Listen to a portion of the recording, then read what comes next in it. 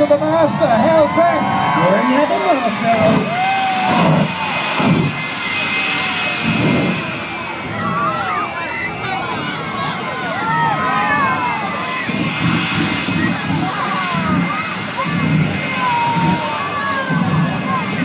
A night Louise is having with the jet van.